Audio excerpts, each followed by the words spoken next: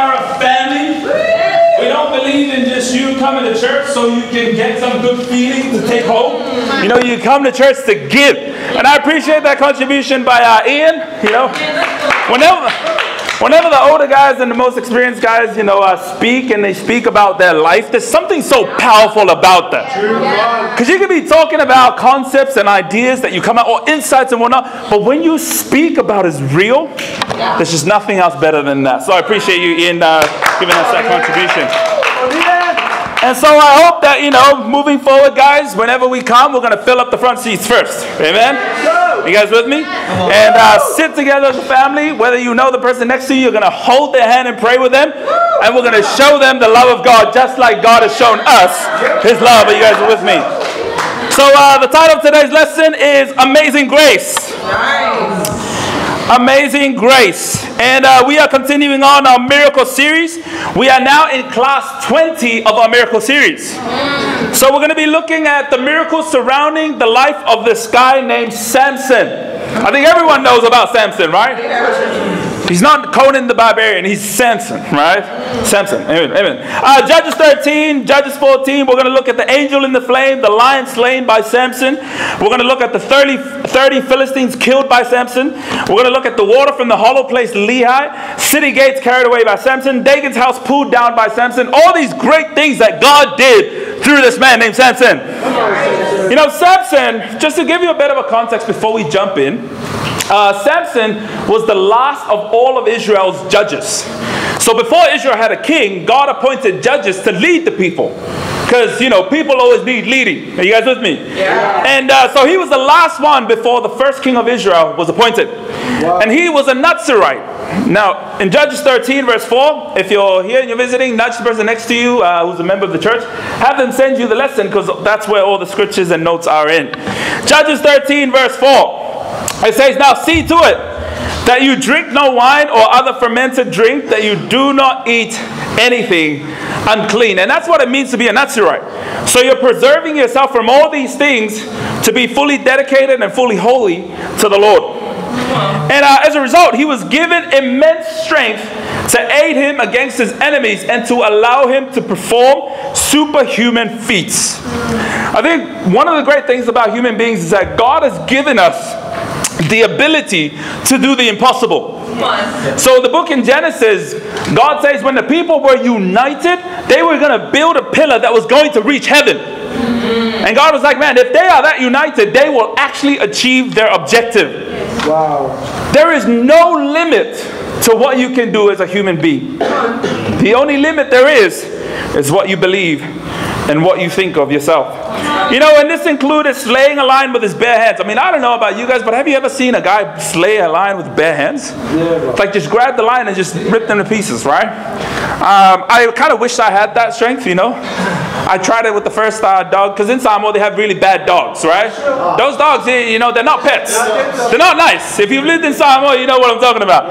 And uh, you try to pat them, they'll bite you. And so I try to do that with a dog. Amen. Like, I love dogs now. I've, I've repented. I'm a Christian. But when I was a non Christian, I was like, let me try it with a dog. And it didn't work out very well, as you can imagine. Right? However, if Samson's long hair were cut, then his Nazarite vow would be violated and he would lose his strength. Yeah. So that's what the whole him having a long hair was all about.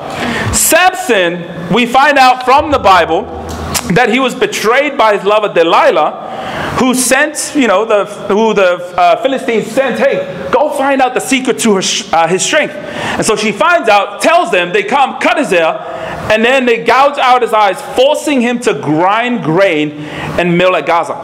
That's crazy. You may wonder why the eyes. Well, if you study out the Bible, you'll find out Samson's downfall started all from his eyes the lust of the flesh, the lust in terms of sexual lust. His sin was all sexual sin. And not only that, it's a warning to us that when we choose ungodly partners, wow. it will lead to our demise.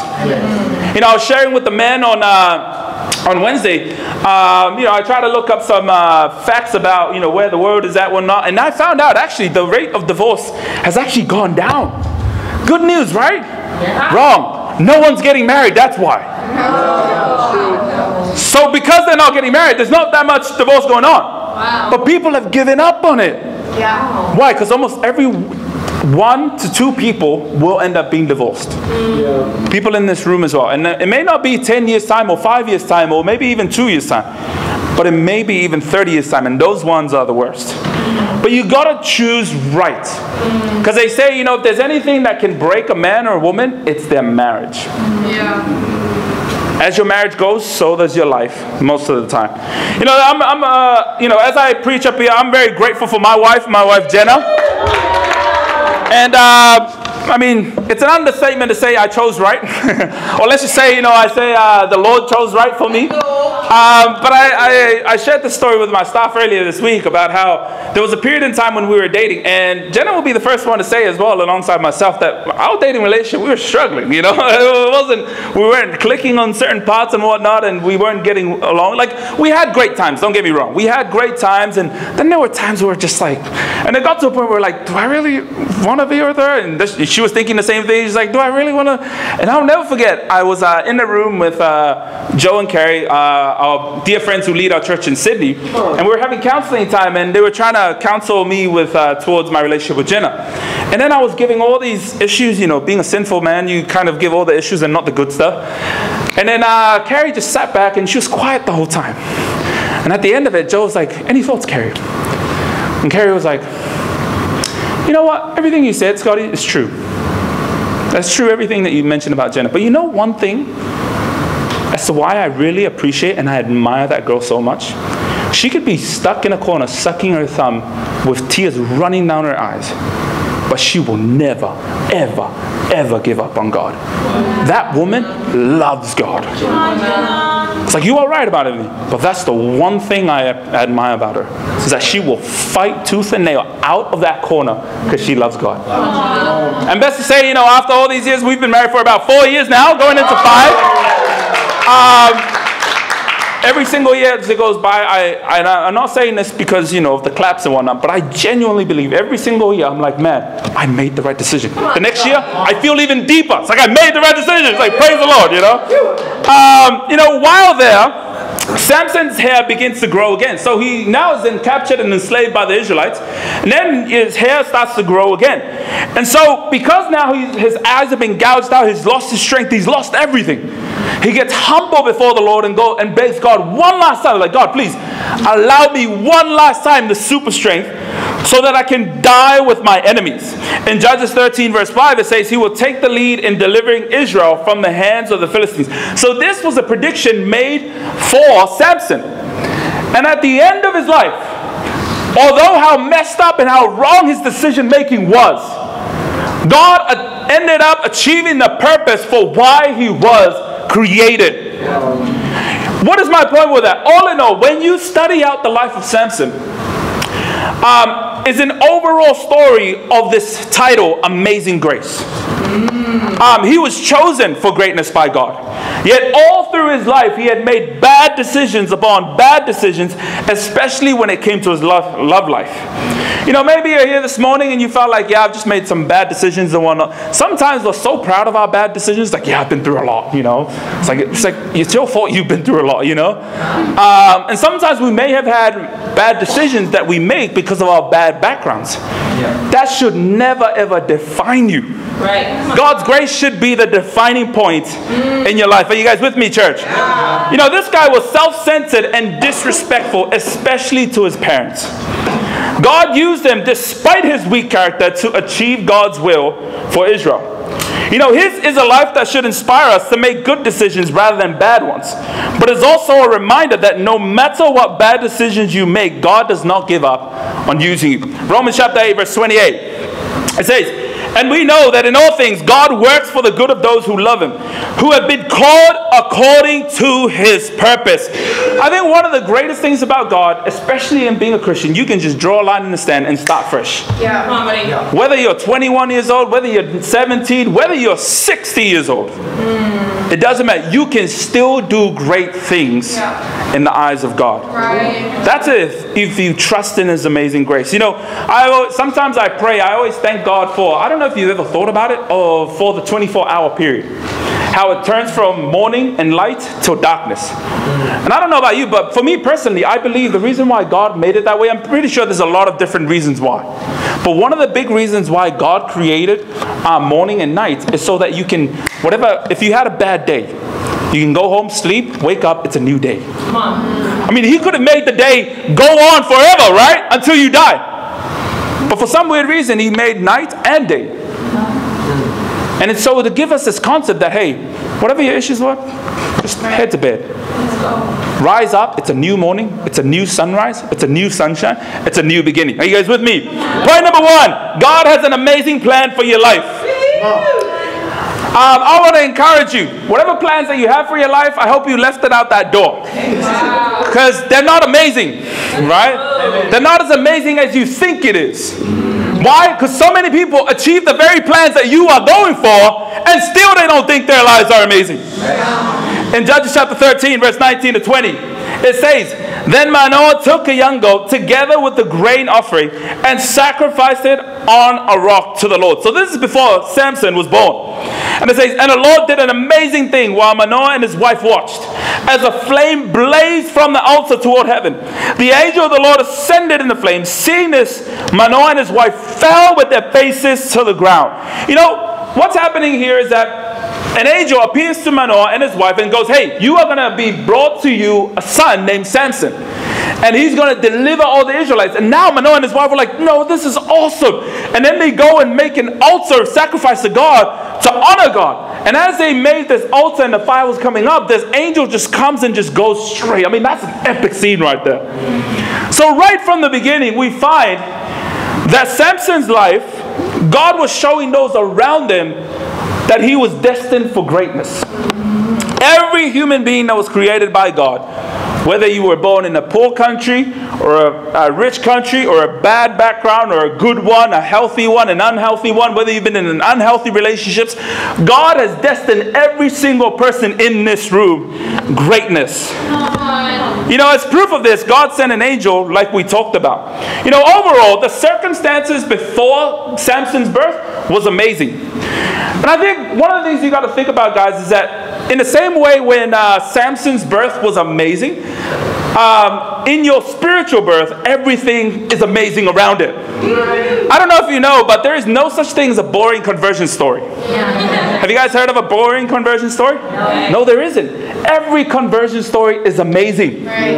Why? Because it's God that makes these things happen. Yeah. You know, I know for Dante's uh, conversion story, he uh, was walking alongside, he was just having a holiday in Sydney, and then uh, one kid goes up to him, Hey, would you want to study the Bible? Reads the first passage, goes, I am lost, I am going to hell, I need to repent. Takes a week off work, studies the Bible, and gets baptized. But if you ask him about that, you and then you ask him about maybe two weeks or a year before all of that happened, God had been working in his life. God uh, pushed him, disciplined him, you know, brought in some suffering of what of what sort, and he got to a point where I'm just empty. I need to see God. You know, it was interesting. Uh, a couple of weeks ago, we got time with the Clays as well, and. Uh, with Margot, don't be fooled with a smile, you know. Margot's got a sweet mama-like style, you know, and like smile, and you know, you want to just give her a hug and cuddle like it's mom, right? You find out her backstory, oh, it ain't pretty, you know.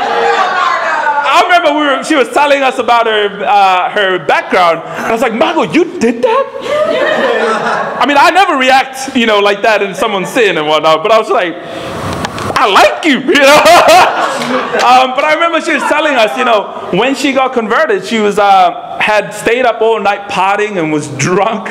Um, and correct, sorry, forgive me if I get this detail wrong. And she was on her way, and she had been invited by someone else to go to church at one point. And then she was on her way. I think she was trying to go find a friend or find where this church was at.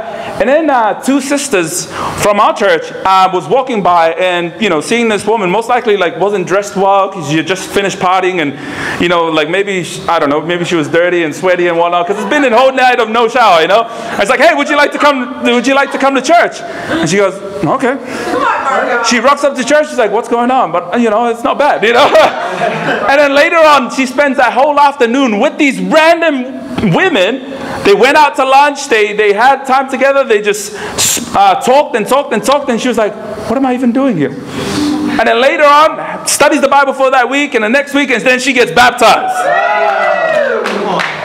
Was that Margot? Was that those sisters? Or was that God? God does amazing things when it comes to converting you. You know, all conversions are a miracle of God, not us. You being fruitful is a miracle of God. That's why we include it in our miracle list. You know, God made, moved amazingly in your life so you would go on and do amazing things for Him. Do you believe that? You know, maybe you haven't seen those amazing things that God has done. Well, then that's why you got to study the Bible, and then you'll start to see it unfold. In 1 Peter chapter 2, verse 9, it says, But you are a chosen people, a royal priesthood, a holy nation, God's special possession, that you may declare the praises of him who called you out of darkness into his wonderful light. You know, uh, we got together with a brother, sadly, that was part of the church and left and whatnot yesterday. And he made a comment, and I didn't respond back because I was like, oh, I'm not going to cause any trouble or anything because it's getting to a point where it's pointless. And he said, uh, yeah, yeah, you know, life, life as a Christian is way harder than a non Christian. And I remember just thinking about that when I went home. I was like, that's actually not true. There is equally hard. You know what's even sometimes more harder than being in the light? It's being in darkness. Yeah. Being in darkness, not knowing really where you're going. Not knowing if the person that you've married is going to leave you after 20 years. Not knowing if this person truly, genuinely loves you and is getting any help to help sustain your relationship. Wow. Come on. That's what's hard. Is living in this darkness, not knowing where the plans are going. Right. And you may convince yourself, going, I know where I'm going. No, you don't. Most people say that, and then they end up finding the truth. You know, and I think what's good um, to really ask yourselves this morning is Are you living an amazing life? If you're not, it's because you're not living the amazing plan. You know, the amazing race, you know? Uh, there's no amazing race than the race of Christianity. Are you guys with me? Um, you know, even uh, it was awesome. Uh, even the past week, I got to go to Aaron and Fung's house, and uh, I don't know if you guys have been to Aaron and Fung's house now. Like it's transformed. You know, they've got some new cranking couches, some new like this big rug and whatnot. And I was just like, how much did that cost? And they're like, we got it for free. I was like, what, really? You know, and I was just like trying to feel up on those couches. I'm like, dang. And, uh, you know, and for the first time, I believe that we're going to get free couches as well, you know? I went to my wife that day. It's like, honey, I believe in what you believe in. She's like, what? I believe we're going to get a free couch. And she's like, I've been preaching that the whole time, you know? Uh, but, you know, do you believe you can live an amazing life? Come on, Scotty. And if you're not, my encouragement and challenge to you is get right with God. Yeah. Is get right with God. Nothing else is more amazing than experiencing God's amazing grace and living out his amazing plan. Point number two God gives you an amazing spirit. Judges 14, verse 5 to 6. We're going to take a look at the action or the feats of the Spirit of the Lord on Samson. It says, Samson went down to Timnah together with his father and mother. As they approached the vineyards of Timnah, suddenly a young lion came roaring toward him. The Spirit of the Lord came powerfully upon him, so that he tore the lion apart with his bare hands, and he might have a torn, might have told a young goat. But he told neither his father nor his mother what he had done. To a non-Christian, like a non-Israelite, or I mean, Samson at this time, he was rude. He was just emotional. He was just plain ignorant, and he was an idiot of a man. And also at the same time, he was going against the command of God to marry people within his own people. So what does that teach us? You see, you can have the Spirit of God working in your life, but it doesn't mean you are righteous. The Spirit of God can work in any person's life, even a non Christian. Why? Because the Spirit does as He pleases, right? That's what the Bible says. But it doesn't mean that you are right before God. Judges 14, verse 19, we continue on. It says, Then the Spirit of the Lord came powerfully upon him again. He went down to Ashkelon, struck down 30 of them, and stripped them of everything, and gave their clothes to those who had explained the riddle. Burning with anger, he returned to his father's home. You know, it's interesting when uh, people that claim to be Christians go, go around and go, oh, yeah, that guy who, uh, powerlifter, he's a Christian. Or, you know, they look at Justin Bieber, like, he's a Christian. Steph Curry, he's a Christian. He shoots like balls, and then, you know, they land in time every single time, and that's why, because God blesses him. It's like, yeah, it doesn't mean he is a Christian doesn't mean he's right with God. It's just God working because God wants to work. You know, Samson was able to do amazing feats because the Spirit of the Lord came upon him. In and of himself, Samson was nothing special outside of being chosen.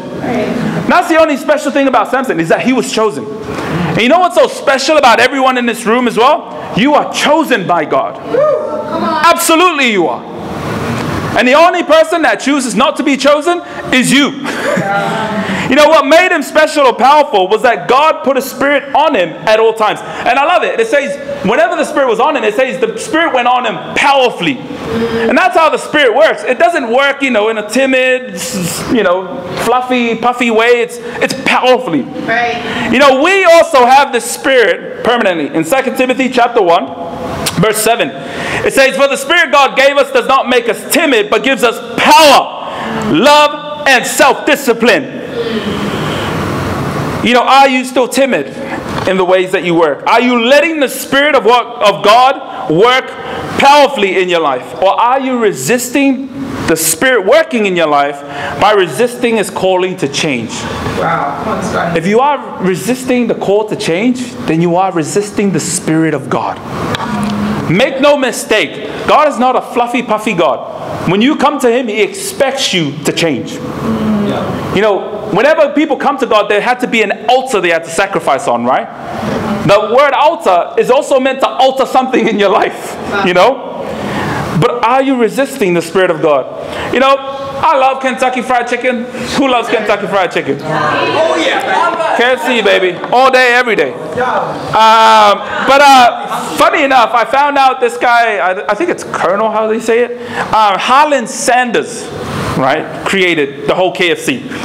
And funny enough, uh, if you read up on his story, he was denied a thousand and nine times his recipe that he made. So he made a recipe and he was like, This is my secret recipe. It's going to become the greatest recipe ever. And he goes to about a thousand different other stores and thousand different other companies, go, Guys, you guys should take my recipe. It's going to be awesome. They just turned him down. And at 60 years old, he was going around offering it to places. And he got to the point where it's like, oh, now I'm just tired. You know what? I'm just going to start it myself. And then he goes on and starts it himself.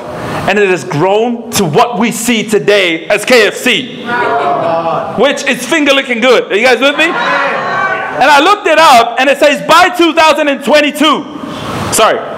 Um, before 2022, he died at the age of 90 years old. And by that time, there were 6,000 KFC stores in 48 different countries. And by 2002, I mean, this is, he's dead. It's still growing. It says there are 25,000 different KFC stores all around the world in 147 countries. I mean, KFC has evangelized the world. Have they not? Yeah. They have. Yeah. But see, that's a man working without the Spirit of God.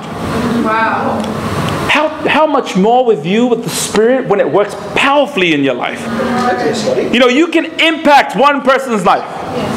And you can tell them, hey, taste and see that the Lord is better than finger licking good. You know what I mean? Because the promise, you know, the promise of the Bible is that taste and see that the Lord is good. Yeah. And I think he got that, you know, slogan from the Bible because he saw it in anyways. But anyways, you know, you've got to allow the Spirit of God to work in your life. Yeah. But you can't do that unless you know what the Spirit is saying through the, the sword of the Spirit, and that's the Bible. Right. You know, my encouragement is study the Bible. You know, what are some keys to unlocking the Spirit's power in your life? Galatians chapter 5, verse 16 to 26.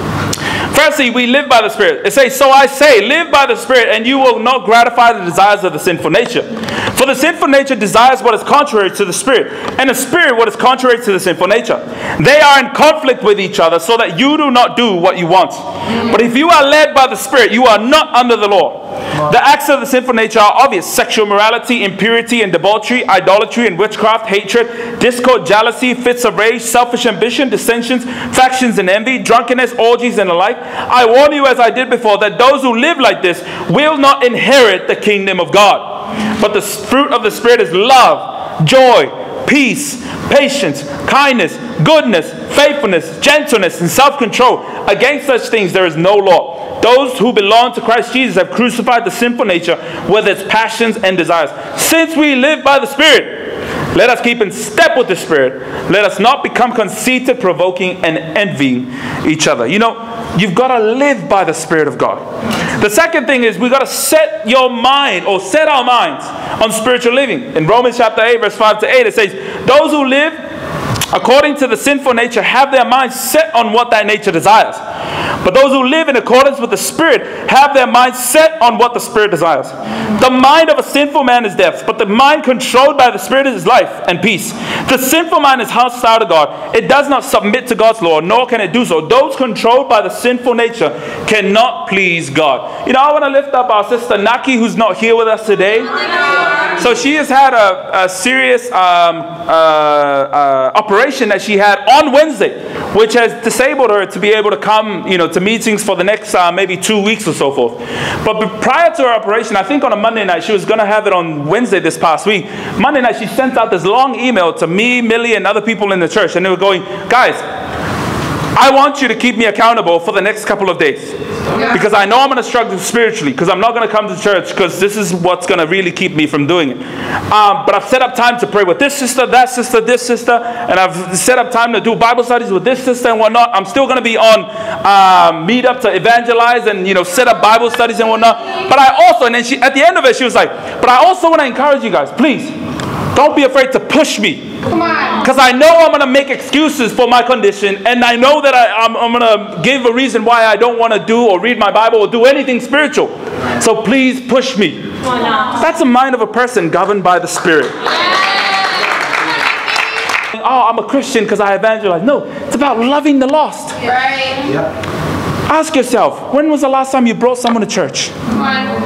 Ask yourself, when was the last time you studied the Bible with someone?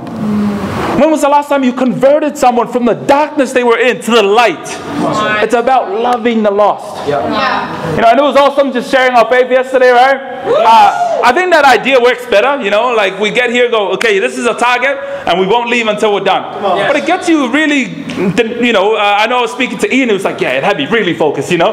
But it gets you, but it gets you really like praying to God, like, God, I don't want to be out here for like three hours. Please help me, you know? I, I prayed that prayer silently as I was going with Gila yesterday, and I think God rebuked me because I was like, God, I don't want to be here two hours. Please give me. And then at the end of it, I was, it was almost going to two hours. I was like, okay, my heart is wrong. God, up to you what you want to do, but help me love the lost.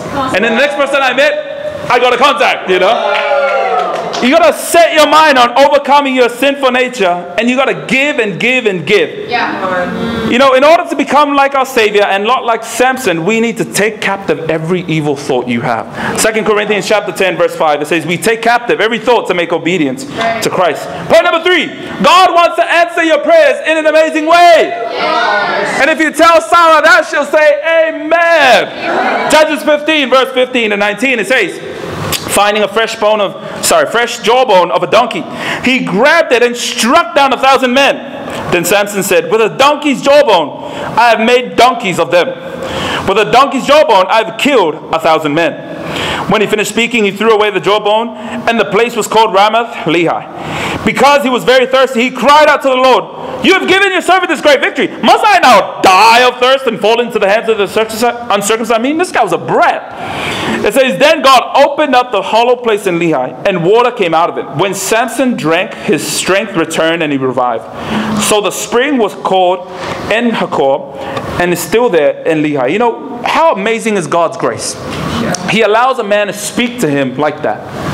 And you know what the great thing about God? He still answers his prayer. After hard days of fighting, Samson forgets to think thoroughly through his personal needs. You know, sometimes as Christians, we love to be focused on missions so much that we our personal lives can kind of spin out of control, right? That's why I preach every single time. Guys, have an hour by hour schedule. You gotta, you, can't, you gotta stop being immature and living in a in a children, you know, phase that you were in where you didn't need a schedule. Mom and dad had it for you. Um, and even as, as adults, we can still be children and go, okay, my, my, my work has my schedule for me. I know what I'm doing based on my work schedule.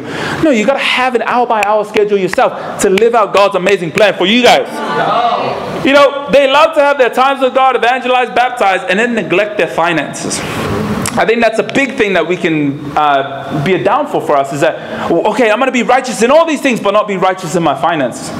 You know, righteousness, the meaning of the word righteousness, it means to fulfill every relationship and responsibility in your life. That includes finances. You know, household duties. You know, when you look at your household, does it reflect the fact that you're lazy or you're hardworking, or does it reflect that you are homey and are loving? I love that, you know, last night we were at the Mount Eden Sisters household we were there and, we were, and I was like, man, this is this is a household. This is what I'm talking about.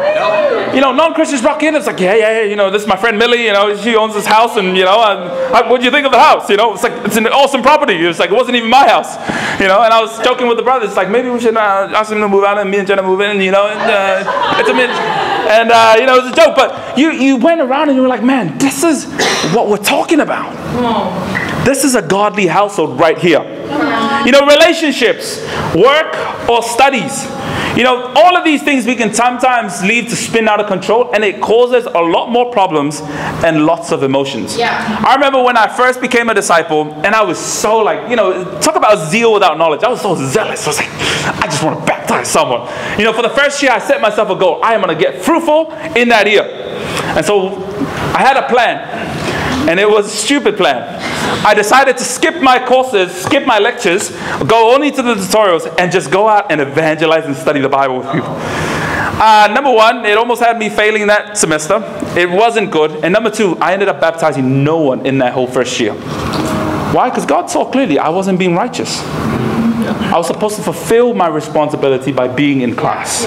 Right? Now, some of us, you know, we need to do the opposite where we spend more time in our classes and in our other responsibilities than saving souls. Yeah. Where we have no problem skipping a Bible study or postponing a person saving someone's soul or not phoning them up to come for the sake of assessments, tests, uh, classes, the list goes on. No, we got to do both, and you got to learn to. It's a learned skill. You need to learn to master it. So if you don't master, it, don't feel down on yourself and go, "I'm sinful." You, you are sinful, right? You just need to learn how to master both.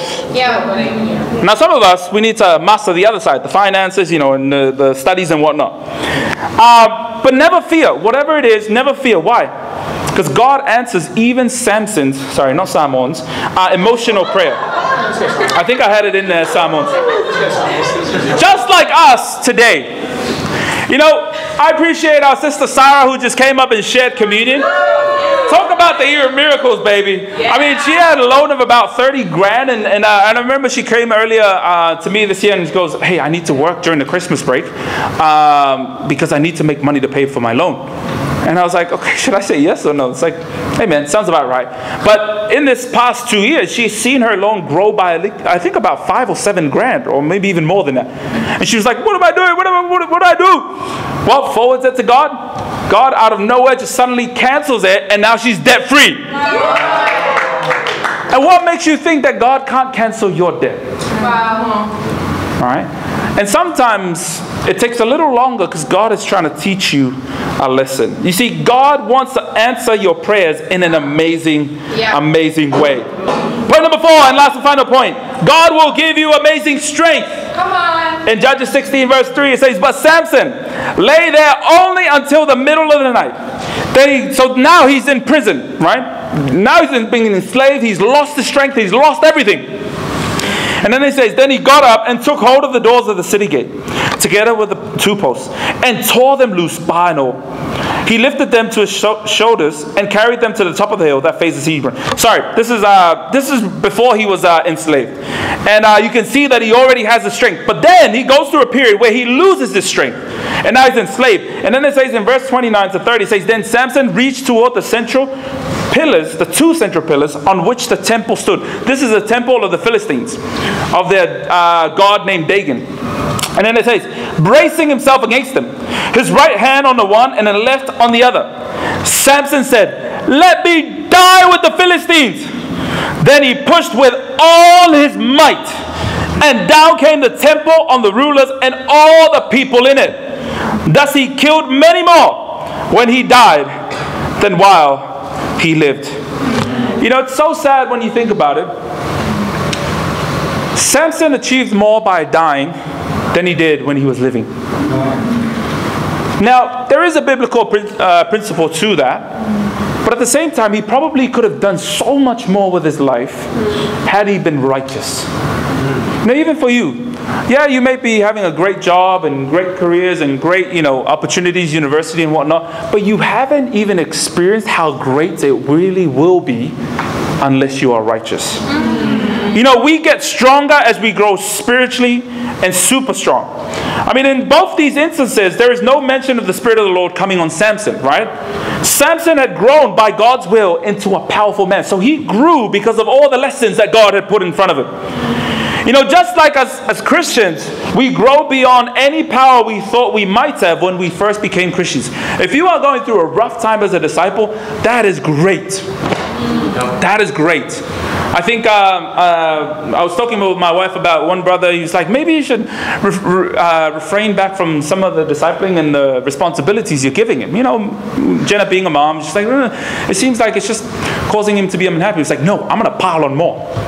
I'm going to allow him to be unhappy, and because I, I want to squeeze out every single thing that's in him, so then we can deal with it bit by bit, and then he'll become more joyful and happier in God. But that's how God trains people. Like he places you through hardship so that he can squeeze what really is in you, so to save you. You know, um, this past week uh, we've been visiting uh, our family a bit more. Um, so my brother Jake is with us here in the service, and uh, and uh, I went to pick him, so you can pick him up because um, one of my cousins was taking care of him, and now he's uh, staying with us in Lee So we have a packed house. Uh, Jenna came from the party last night with a bunch of food. It's like, yeah, well, I got three men I've got to take care of, you know. It's like, amen. And uh, woke up and had barbecue, you know. That's that's, that's a man's meal, you know. But um, anyways, uh, we we went to so my family had a farewell uh, uh, dinner party for my um, brother on Friday, and so went there and I spoke with them. And it's funny, some of these cousins I was with, I grew up with them. And uh, we, you know, you know how Samoans are. We always joke and mock each other and pull each other down and whatnot. And then when I was there, uh, not too long ago as well, when I saw them, it was the same thing. And then when I was there, there was none of that. It was very interesting. They just started speaking to me about deep life topic stuff, like you know. And uh, my, my cousin who works uh, uh, security in um, uh, what's it called, uh, Auckland Uni, he was like, "Yeah, man, like I'm, I'm working in this uh, new place that I'm got promoted for, and I spent years just not giving it a shot, and and then I just realized, what am I doing? So being so fearful about it." He said, "Because I couldn't even go to sleep because I was like, they were trying to offer me the position to get promoted, but I was so fearful I might mess it up." And so he goes, Man, I learned something so big in life at that time. It's like, man, I just need to take risks. Um, but then you talk with them and they talk about all these serious life topics. And I'm like, man, my, my cousins have really changed. And then at the root of it, they mention that, man, I, am so, I, I so appreciate the fact that you decided to live for God. Um, you have no idea, but we respect you a lot. Um, the things that you've done, um, it's made us encourage us to take risks. Because it's like man some of the things you did man like obviously from our culture it's a no-brainer. You don't turn down your parents. You don't turn down you know your family and whatnot for god. You don't do that. But you gave us the courage to do that and you taught us a lot. And i you know i was in that awkward moment where i was like should i crack a joke here you know? I was like no just shut up and just say thank you you know? But they were just they were just sharing their hearts out. But see them seeing the impact and the life that i'm living made them go i need to take my life seriously. But you see, you cannot live that type of lifestyle if you're still waiting for the permission of your parents to do something for God. If you're still waiting for them to say yes for you to move. No, you need to grow up to be a man, be a woman, live for God. Yeah. And you'll see the when when when God does amazing things in your life, it doesn't just stop with you. And I mean, these cousins, I haven't seen them in the past 10, 13 years.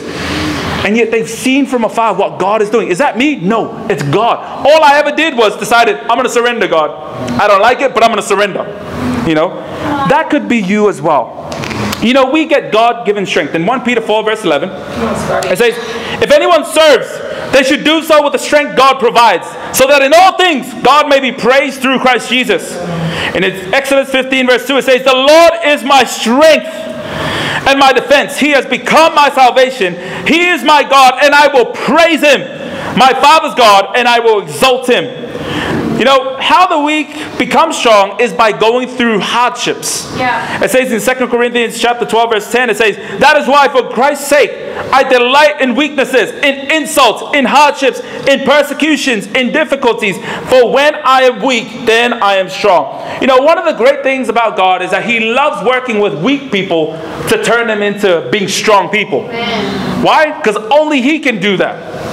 And He loves it. The only thing He needs from you is a full, wholehearted commitment. Right. The Bible says in 2 Corinthians chapter 16, verse 9, it says, God looks and his eyes are all over the earth, looking for people that his hearts are fully committed to him so that he can strengthen them. You see, we don't get strength out of nowhere. We get strength when we become fully committed to God. Yeah. You know, and it's so awesome because today the Lord is going to give strength to a special woman named Jolly.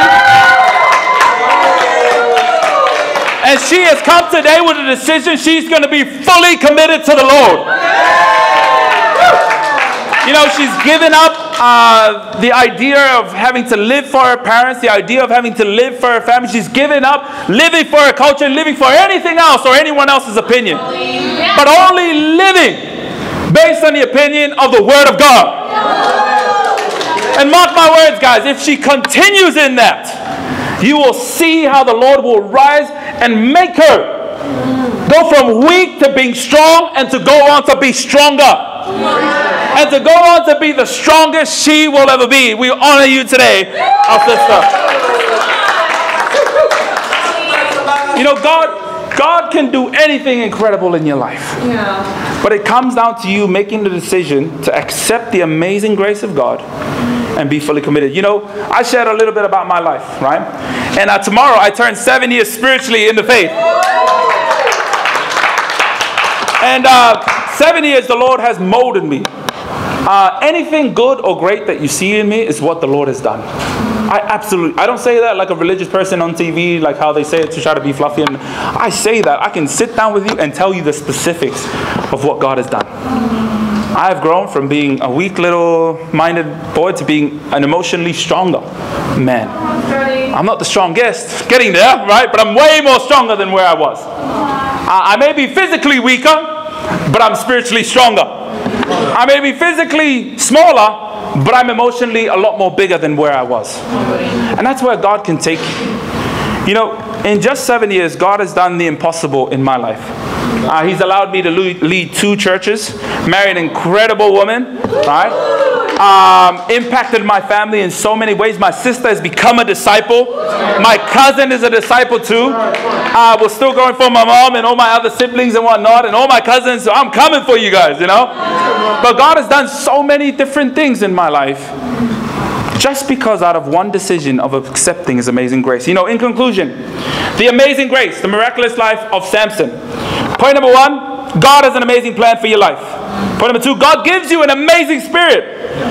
You know, three, God wants to answer your prayers in an amazing way. God will give you amazing strength. The only thing that's standing between you and that is yourself. To God be the glory.